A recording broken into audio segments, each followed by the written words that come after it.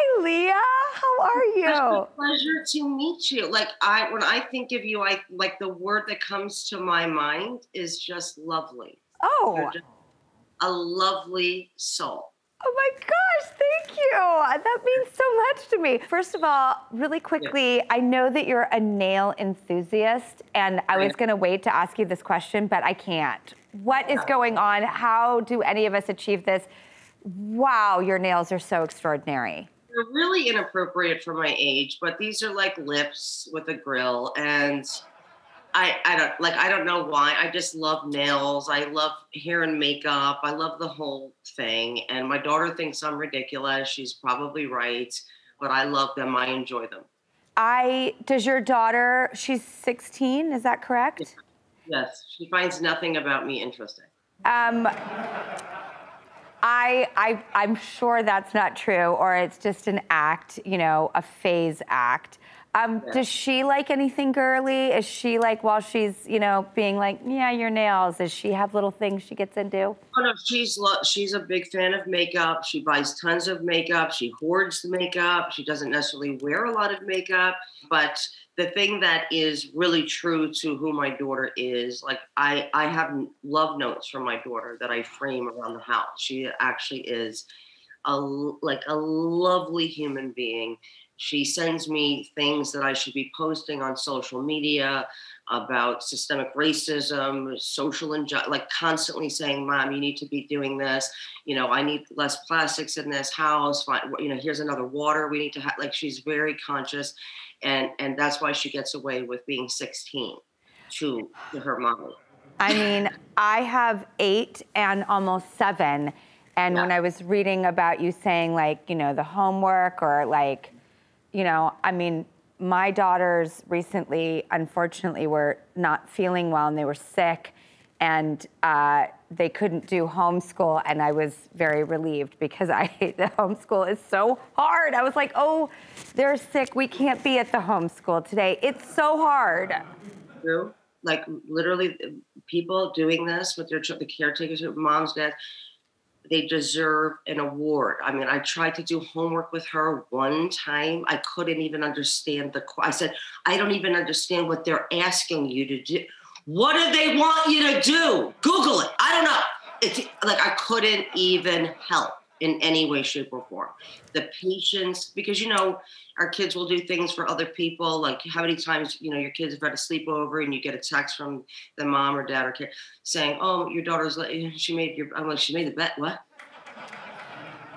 I what? try to put the fear uh, of just everything wholly out in the universe into my children when they go over to said friend's house. I'm like, we're talking. Your their mom and I are talking afterwards, and I'll know everything that you do. Right. Right. exactly. Um, exactly. Yes. Well, she, she's she's lovely at other people's house. Lovely. I love that she's so woke too, like with the plastic. And my daughter was canvassing, you know, yes. throughout the building. And I I sometimes wish that we could be raising kids like with playing till the streetlights go on and no social media. But that's just not the world we live in. And and I do think a trade-off is this wokeness, this awareness. It's incredible. I wasn't thinking about these things when I was her age. I was thinking about Jordache and Sergio Valente, and you know that that's what I was thinking about, right? And so to have what same same? No, I'm, I'm like, were you. you thinking about Chemin de Fer and Fiorucci? Because I was. you see, maybe a little Sassoon. Yeah, exactly. Candy, candy shoes. I mean, like I love all that stuff. Oh, so the fact that they they are now aware of the world around them and they are, uh, it, it, it to me it makes me so proud to know that she's somebody who cares about what's happening in the world. That isn't just about her world. That uh, she can affect change. Well, I think in this day and age, they'll teach us things uh, as we teach them things. And uh, I'm just, I was really excited to talk to you about your daughter because I'm raising two yeah. girls and um, it's such a privilege and it's so wild out there in this current world. And um, there are things to navigate, but things to sort of embrace as well. And how that we do that dance is such an art.